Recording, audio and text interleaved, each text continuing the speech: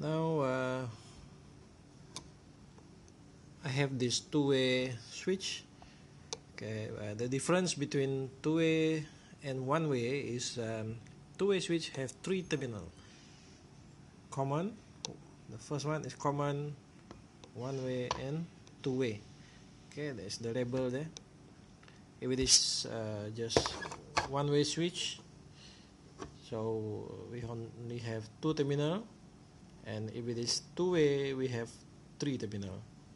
You can use this two-way switch uh, in case you want it to use it as a one-way switch if you like to but uh, two-way switch is uh, a little bit expensive compared to one-way switch.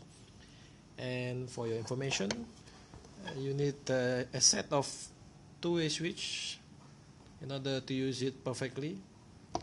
Okay for your lightning system. So you need to have two unit of two-way switch for your wiring. Well, lighting wiring. Right so this is the front. Okay. This, uh, the back there.